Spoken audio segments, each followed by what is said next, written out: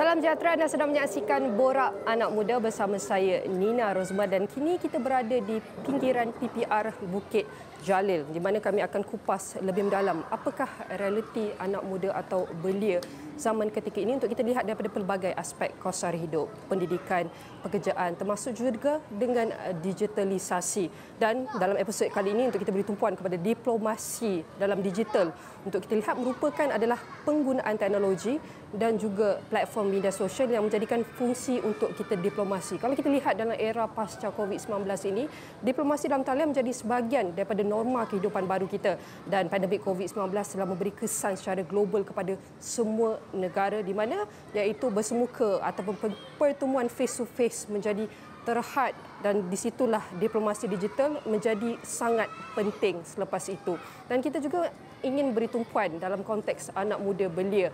Bagaimana untuk kita hubungkan mereka dalam kalangan belia ini daripada segi melalui digital yang melintasi pelbagai sempadan daripada etnik dan juga budaya. Sudah tentu saya akan mempersilakan tetamu kita yang bersedia bersama kami. Di sini adalah merupakan pengasas ataupun kita boleh cakap di kiri saya pereka grafik Syamim Amran dan juga tetamu kedua adalah pengasas bersama Architects of Diversity Jason. Saya nak ucapkan terima kasih kerana sudi meluangkan masa bersama kami di tengah-tengah PPR pinggiran Bukit Jalil ini. Apa khabar? Khabar baik. Khabar baik juga. Okey. Kita nak bercakap mengenai diplomasi digital ni yang kita dapat lihat dia semakin rancak sewaktu pandemik COVID-19 di mana di sinilah people connect dan berhubung antara satu sama lain. Tetapi sebelum itu kita nak cerita pasal diplomasi digital, mungkin uh, Syamim boleh kongsikan uh, apa yang Syamim buat, apakah background dan latar belakang. Uh, so nama saya, thank you Nina introducing me. Uh, my name is Muhammad Syamim bin Amran. Uh, latar belakang saya, saya adalah seorang pereka grafik di mana saya main work, my main work is giving solution in terms of visual side. So you can see around here uh, logo Astro, we have road tour, perpaduan is everything here. Is what I do lah for a living. I do branding as well. I do anything visual in digital world. Memang minat daripada kecil ke? Ya, yeah, memang minat daripada kecil actually sebab uh, dulu actually my dad dia inspired me uh, sebab masa kecil-kecil my dad suka edit diri dia sendiri jadi uh, Pak Arab. Okay. okay. And last time when I was still very young, dia suka edit my sister uh, dengan Justin Bieber. Dia suka jadikan sesuatu karakter kepada karakter-karakter yang lain yang yes. berbeza, yang unik, yes. yang kita susah nak jumpa lah yes, sebenarnya. Yes, yes. So it's macam last time it was very hard to meet Justin Bieber. Let's say my sister and she she likes Justin Bieber a lot and she wants to meet him. But my dad, the only possible way for him to do wow. deliver that is to edit Justin Bieber itself with her. And yeah, from that I was inspired lah. I thought like, wow, from this thing we can I, make people happy yeah we can make people happy and we can be everything we can oh. be anything so i can be an astronaut in design everything and from that i was inspired and until today i carry that inspiration forward and here i am today a graphic designer. Wow, anak muda menjadi uh, graphic designer ni bukan calang-calang ya, tak ramai. Bagaimana pula Jason? Jason boleh cerita tak? Salam, uh, jadi saya saya Jason, saya uh, pengasas bersama Architects of Diversity. Kami sebuah NGO yang bermisi untuk menghubungkan dan membina jambatan antara kaum dan belia uh, antara kaum dan agama dalam kalangan belia. Hmm. Jadi sebenarnya NGO kami buat program-program untuk membina kesepaduan kaum, uh, kesepaduan agama serta mencadangkan solusi polisi kepada kerajaan melalui membuat penyelidikan ataupun cadangan kepada kerajaan yang semasa. Okey, kita nak bercakap pasal diplomasi digital di mana kita berhubung ataupun kita uh, connect dengan antara satu sama lain. Ia bukan sekadar menjadi alat pekerjaan ataupun alat hiburan ataupun perkara yang kita gunakan dalam kehidupan seharian kita.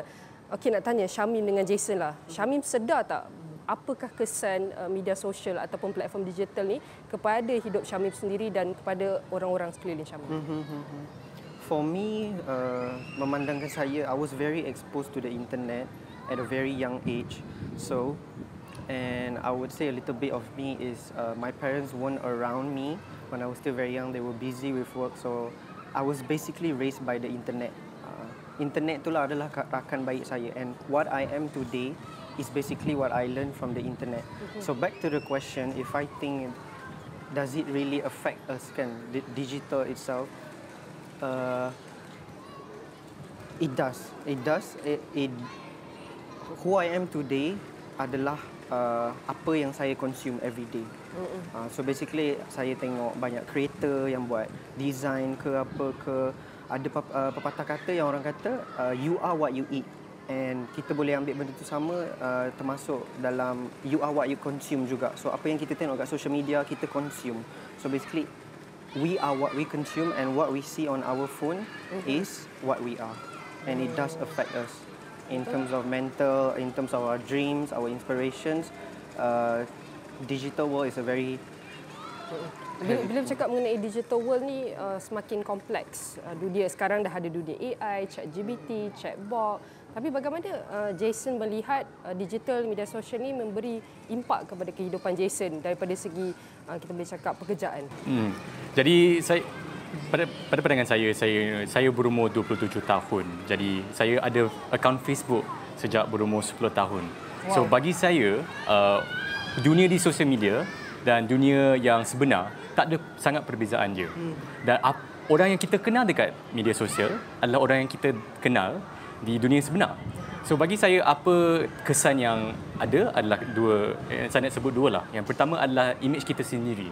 So maksudnya uh, apa profil kita pada Facebook, dekat Instagram, dekat TikTok itu akan membentuk image kita cerminan sendiri.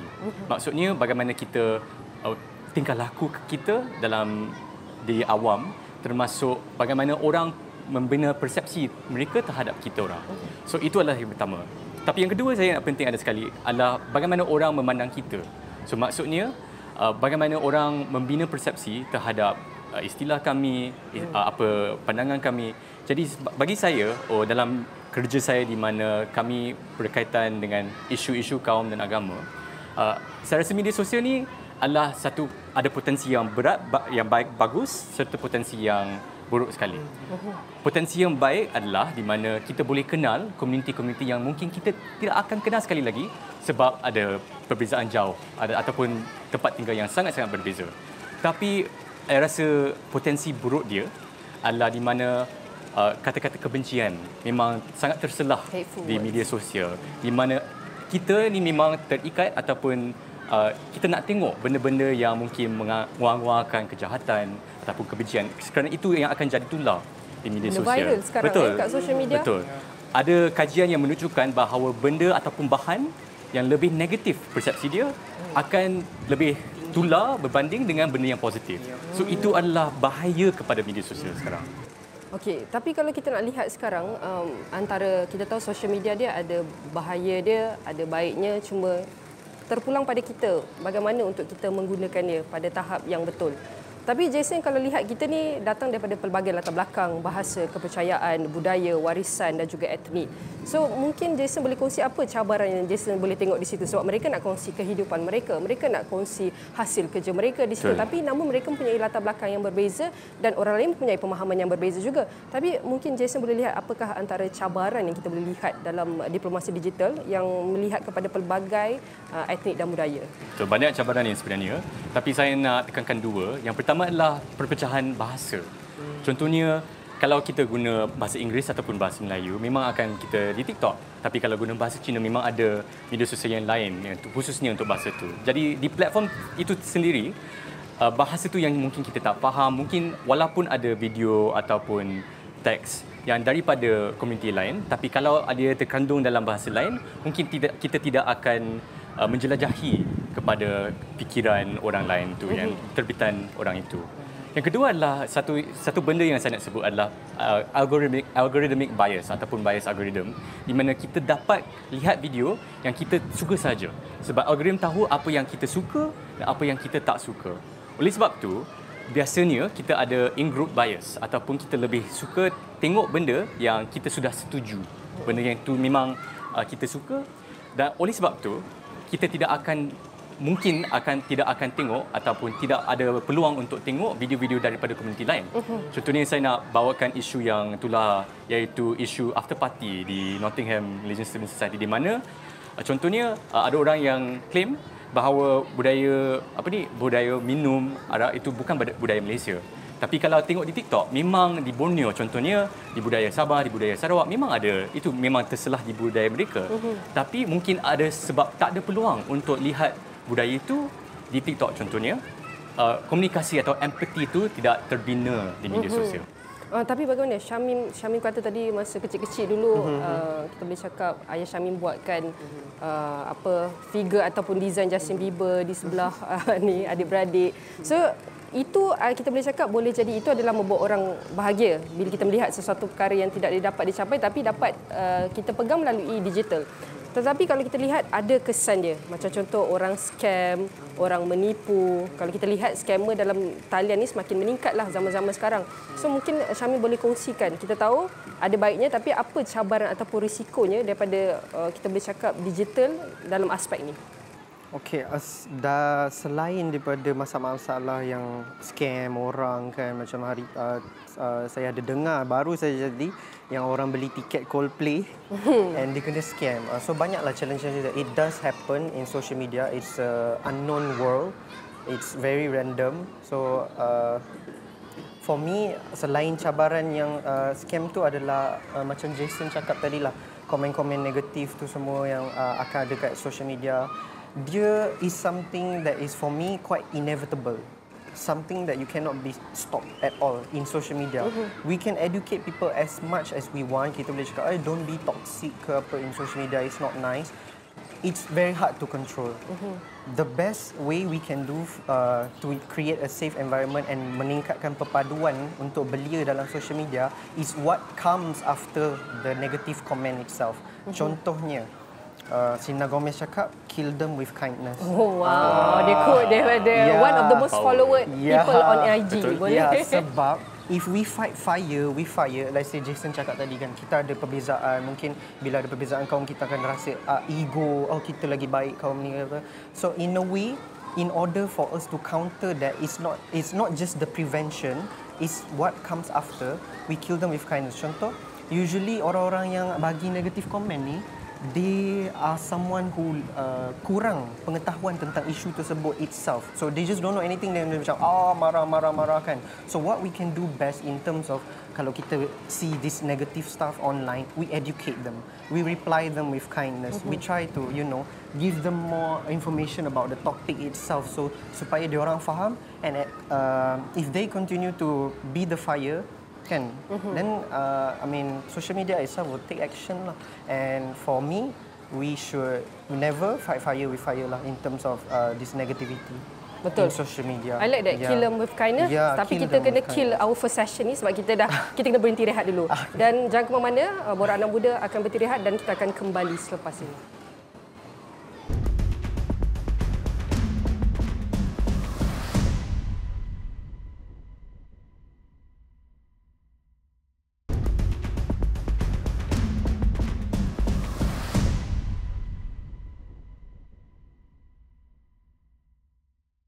Bertemu kembali dalam Borak Anak Muda bersama saya Nina Rozman dan kita masih berada di PPR pinggiran Bukit Jalil untuk membicarakan topik anak muda. Bagaimana untuk kita memupukkan perpaduan dalam kalangan anak muda dari pelbagai latar belakang etnik dan budaya melalui diplomasi digital. Dan kita lagi masih bersama tetamu kita di sebelah kiri saya adalah grafik designer pereka grafik Syamim Amran yang sebenarnya dipanggil ramai dikenali sebagai Mim, Mim. Uh, dan juga Jason Wee uh, pengasas bersama Architects of Diversity. Saya nak ucapkan uh, terima kasih kerana masih setia bersama saya. Saya takut tak hujan je lagi selepas ini. Okey, kita nak sambung bercakap mengenai diplomasi digital. Okey, tadi banyak yang telah kongsikan antara cabaran uh, daripada uh, platform digital, daripada di, kita nak wujudkan diplomasi dalam kalangan anak-anak muda ni. Kita anak-anak muda ni sebenarnya banyak idea, tapi pada dalam pada masa sama mereka juga uh, degil. So tetapi kita tahu banyak perkara ataupun aspek harus kita teliti untuk apabila kita bercakap untuk kita menyatu padukan uh, dalam kalangan anak-anak muda ni belia ni. Okey, tapi sebelum itu boleh kongsikan uh, mungkin Syamil boleh kongsikan. Okay, kita tahu platform ni ada audience masing-masing, ada konten dia tersendiri. Uh, pada Syamil macam mana Syamil menggunakan setiap platform ini?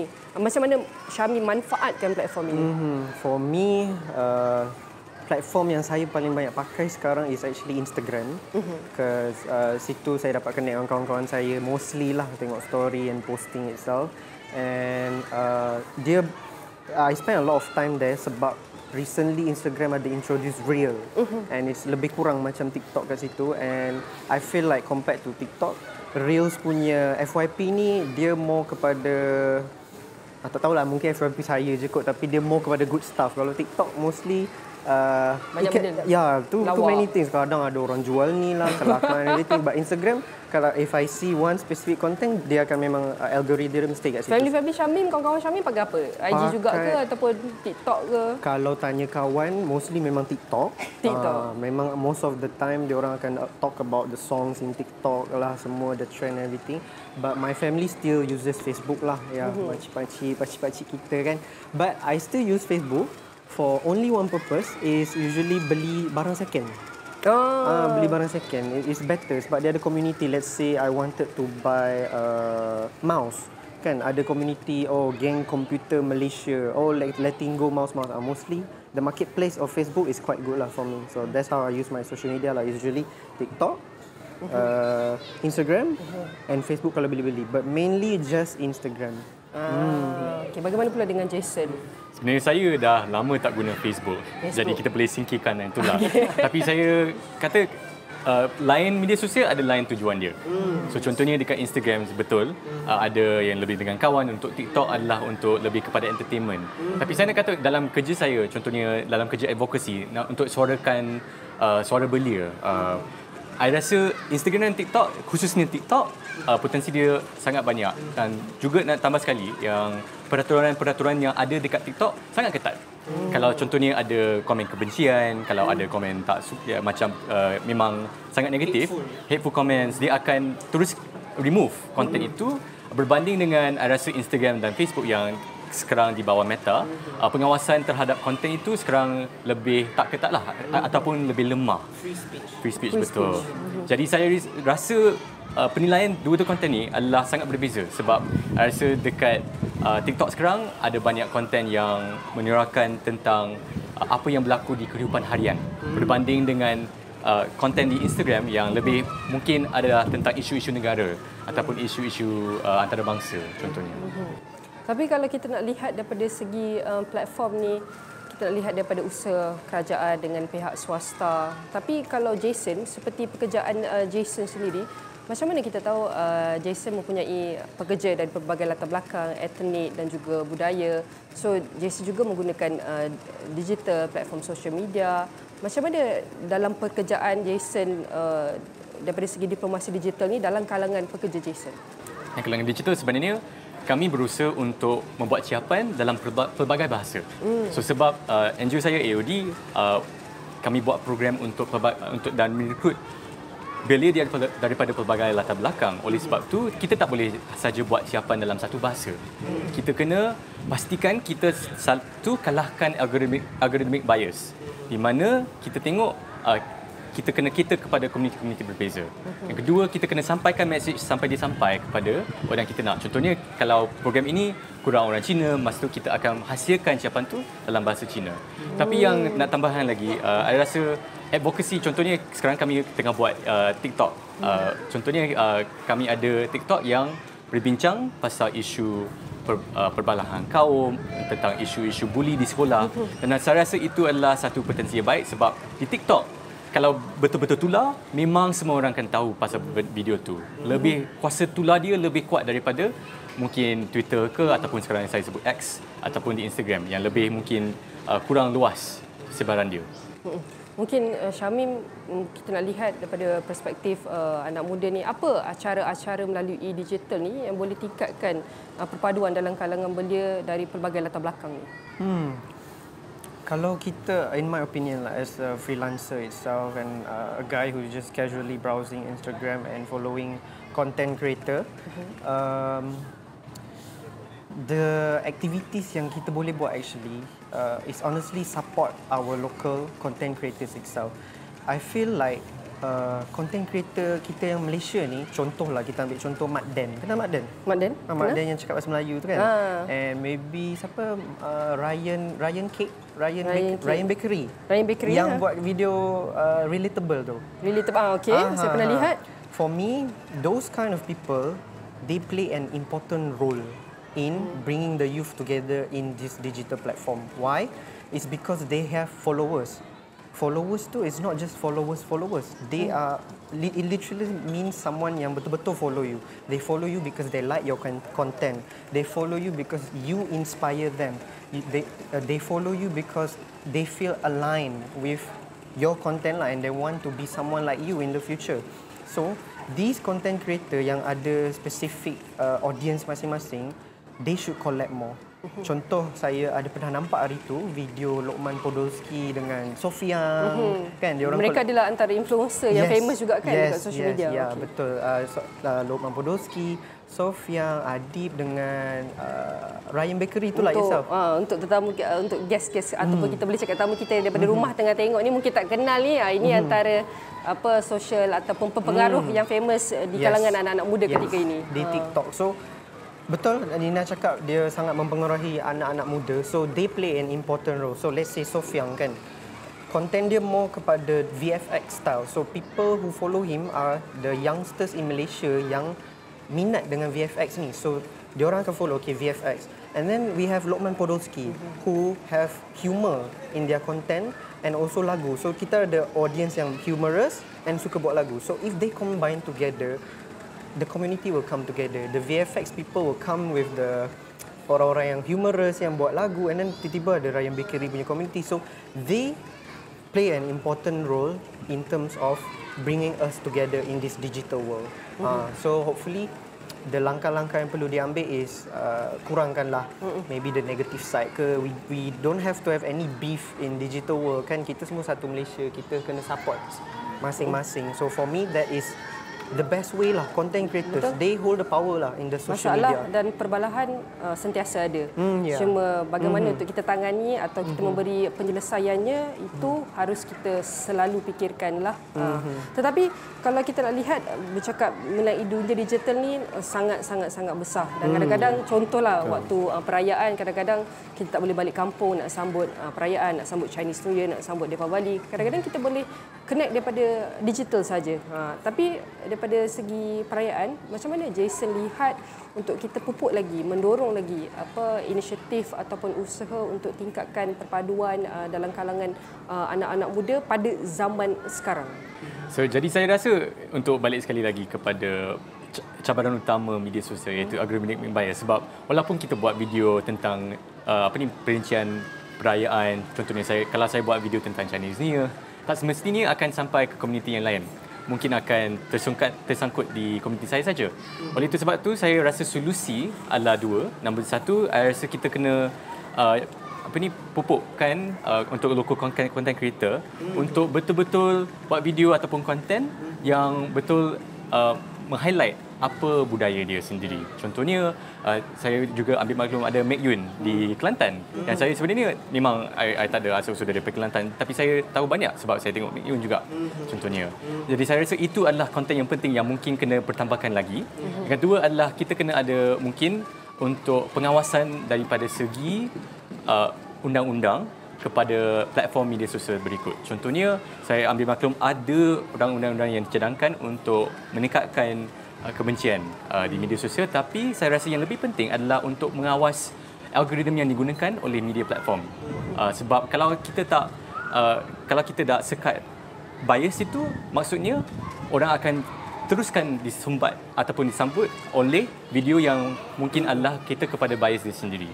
Hmm. Mungkin Syami juga boleh kongsikan antara harapan bergerak ke hadapan bagaimana untuk kita kukuhkan lagi perpaduan dalam kalangan anak muda melalui diproporsi digital terutama daripada pelbagai latar belakang dan budaya. pada pandangan saya lah kalau nak in the future what am I hoping right? Uh, is to encourage uh, anak-anak muda ni sendiri to create more you know look up to the right influencers look up to the right content creators. I feel like Sofian is a very good example Ryan Bakery as well. Those those kind of people maybe Mat Dan juga sebab dia memperkukuhkan bahasa kita kan. Dia dia just mungkin dia je kan yang pakai bahasa Melayu dalam konten dia saya tak tahulah uh-huh. tapi yang saya tahu dia je kan Kita pun rasa macam berbangga lah sebab Ah, ramai kita juga punya bahasa Ya, uh, ya, digunakan. dah lama sebab uh-huh. anak-anak muda dah lama pakai bahasa yang uh, agak bercampur bau tapi Mak Dan datang and it becomes a trend sebab my friends also dia orang bukannya uh, pandai sangat cakap tapi sejak tengok konten Mak Dan cakap biasa pun dia suka jadi macam formal kan tau macam ha makan apa hari ni Raka? Mean, I don't know lah. Macam Something. nampak Syamil macam banyak belajar je daripada Mak Dan daripada buku teks. Ah, nampak tak media mempengaruhi kita sebenarnya. Ah, so in hopes actually what I would do uh, back to Jason's point juga uh, kerajaan uh, boleh pantau mana influencer-influencer kita yang actually uh, have a big audience yang mempengaruhi banyak anak-anak muda golongan belia kita ni and maybe support them mm-hmm. in a way you know put put put more resource into them mm-hmm. into making them someone who's very successful and can be a great example for the youth lah itself and mm-hmm. collect more collect more Jason bagi contoh eh, mm-hmm. contohnya untuk uh, Pami Reza yang ada TikTok account dia yang video dia memang adalah untuk pendidikan demokrasi dan pendidikan politik. Mm-hmm. Tapi TikTok ban dia sebab ada orang report. Mm-hmm. Tapi Pami Reza itu secara pada pandangan saya adalah aset negara sebab dia memberikan pendidikan demokrasi dalam uh, cara yang boleh dipahami oleh rakyat sejahtera. Tapi oleh sebab kerajaan tak belum lagi ada strategi mm-hmm. untuk betul-betul memastikan influencer yang baik hmm. menerima ataupun mempunyai persekitaran yang baik untuk content creation dia, yeah.